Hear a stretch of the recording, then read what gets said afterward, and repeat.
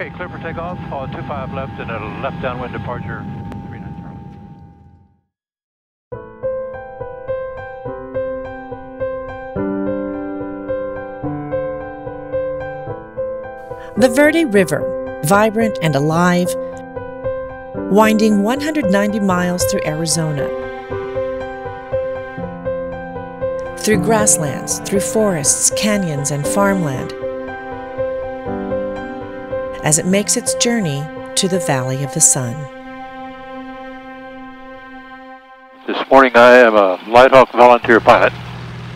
We're going to fly along the Central Arizona Aqueduct and then we're going to go up the Salt River a short distance to the mouth of the Verde River.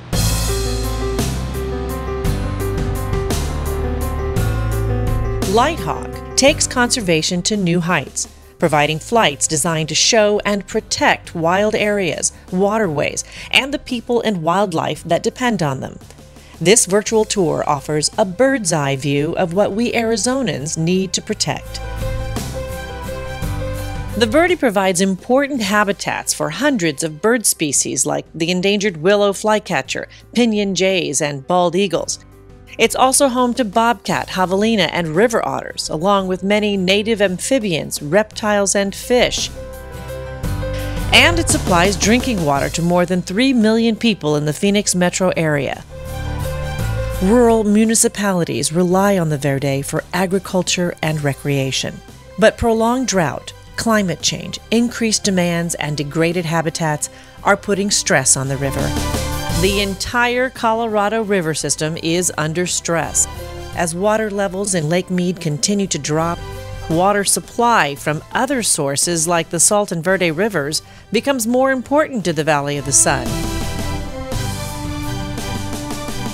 The Verde River is a critical resource for the people of Arizona and for its natural heritage as well. There is hope, but if we don't act soon, it could be forever changed, forever diminished. On this flight, we start at the end. The Salt River is coming down from the east and the Verde River is coming from the north and this is the confluence right here. Here, where the Verde River meets the Salt River, the source of 60% of Phoenix's water supply. The health of that watershed is critical. It forms the basis of our portfolio. For Phoenix, maintaining water security means investing in water reuse programs, water conservation, water treatment infrastructure, and in the health of the Salt and Verde River watershed. We use water obviously for drinking, and then once it goes through a wastewater treatment plant, we reuse it. In working with uh, the Palo Verde Nuclear Facility for nuclear cooling, on agricultural irrigation, and it back into the Salt River for habitat. We don't waste a drop. It means that supporting groups that focus on the health of the watershed is critical. Collaboration creates more efficiency, and efficiency is what's going to make our scarce resource go even further. We're flying along now at uh, just about 3,100 feet. We're going to come up here in a moment to Horseshoe Reservoir. Those reservoirs are critical for storing water and managing river flows. When we think about being in the Phoenix metro area, maybe you're in Mesa or you're in Scottsdale and you turn on your tap, water comes out. Part of that water is coming from the Salt and Verde watersheds. So the opportunity to view the river from the air is critical as we think about where it's connected and how it's put together. On the left side, right at the top of that cliff is one of the perennial eagle nest that has been very productive over the years. We have a really lush riparian forest of cottonwoods and willows.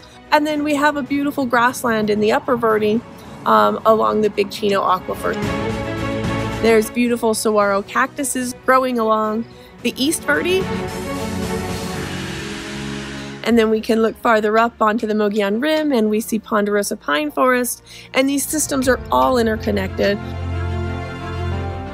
This past year, we switched to sprinkler irrigation, and those sprinklers actually do so much better than flood irrigation and more effectively send water back to the river.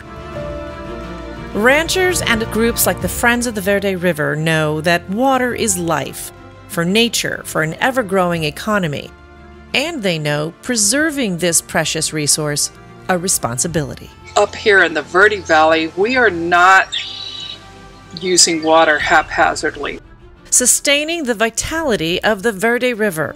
This delicate ribbon of water winds through rich and rugged terrain and feeds fish, birds, otters, and us. Working together, we are finding solutions, using water more efficiently, farming lower water use crops, choosing river friendly practices, investing in infrastructure. We encourage you to be part of the solution.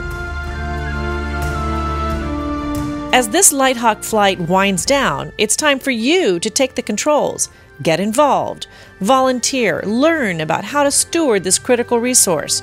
Together, we must chart a sustainable course for the Verde River, wildlife, and ourselves as we learn to share and protect this precious resource.